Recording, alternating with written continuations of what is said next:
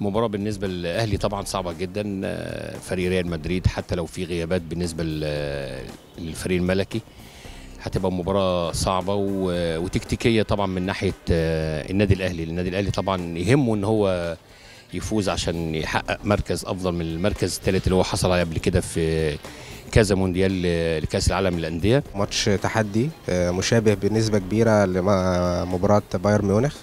آه، الأهلي قدام squad كبير جدا لريال مدريد وتحدي كبير ولكن الأهلي يمتلك روح ومعنويات مرتفعة جدا الفترة دي آه، هتساعده بشكل كبير جدا خاصة وسط الجماهير العربية في المغرب.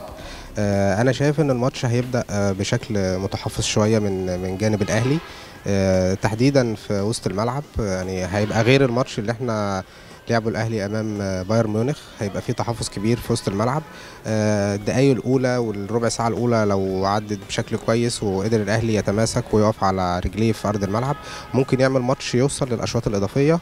ولعله خير إن شاء الله ويوصل لركلات الترجيح. يعني هو ده يعني أنا بشايف إنه ممكن يكون ده أفضل سيناريو ممكن يواجه يعني يلعب بيه الأهلي قصاد ريال مدريد. الأهلي طبعا هيواجه صعوبة قدام ريال مدريد ولكن طبعا الأهم في في في المواجهه بكرة إن يبقى في تركيز في هدوء في يشيل الضغط مع اللعيبة يقدموا كورة يقدموا نفسهم للعالم العالم كله بيتفرج عليهم فلازم يقدموا نفسهم بشكل كويس عشان يقدر يقدموا كورة كويسة. لو دخل بخوف أكتر زي ما حصل مع الأهلي مع بايرن ميونخ والأهلي كان ظهر بشكل سيء جدا مع موسيماني.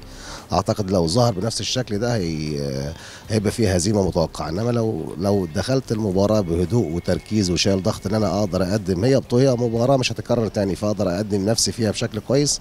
أعتقد لو في تركيز وفي هدوء الأهلي الأهلي ممكن يسير المباراة ال- بشكل كويس ويقدر يوصل لإنجاز كبير جدا لو وصل للمباراة النهائية يبقى ثالث فريق عربي يوصل للمباراة النهائية ويبقى أعتقد يبقى وصول لأبعد نقطة بال- بالفوز بالكأس هيبقى حاجة إنجاز كبير للكرة المصرية والنادي الأهلي طبعا باقي الخصوص يعني.